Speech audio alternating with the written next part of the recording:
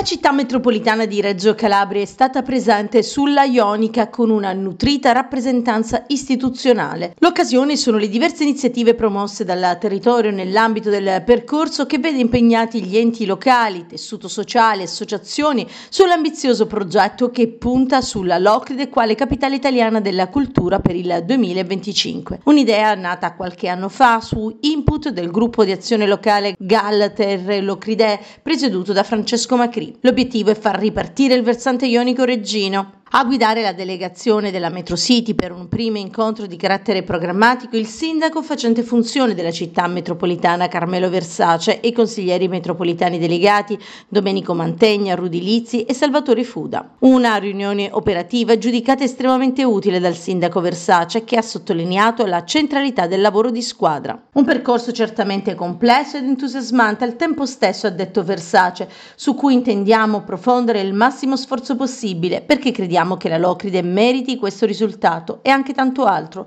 in ragione delle numerose risorse sociali e produttive e dello straordinario patrimonio culturale che questa terra custodisce. Locride 2025 è un progetto credibile, solido e autentico che ha il grande merito di partire dal basso, da un impulso diretto del territorio. Intanto se la giuria dovesse accettare e quindi valorizzare quella che è questa candidatura che stiamo proponendo con un dossier che ancora deve essere completato e che verrà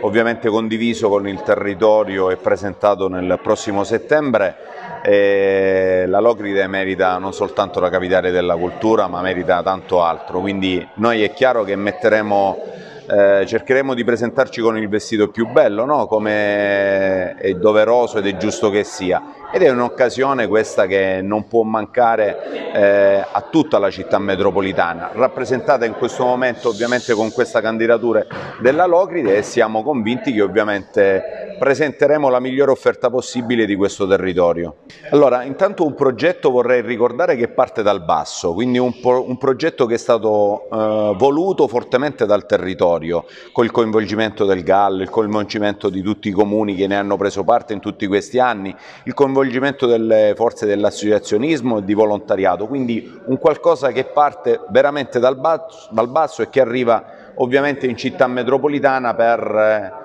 provare a mettere diciamo, in sinergia tutto quello che di positivo sta avvenendo fuori. Noi dobbiamo far sì che per presentarci, come dicevo poc'anzi, con il vestito migliore emergano quelle che sono le peculiarità del nostro territorio, facendole emergere tutte nella sua essenza, nella sua naturalezza. Quindi non ci caratterizzeremo, o meglio non caratterizzeremo il nostro progetto su un asset specifico, ma proveremo ad abbracciare un po' quelle che sono appunto le bellezze del nostro territorio prendendole tutte interamente perché ovviamente è molto vasto, quindi quando parliamo della Locride parliamo di tutta l'area della Locride, partendo ovviamente dal basso e arrivando fino appunto alle parti più interne nostra, del nostro territorio.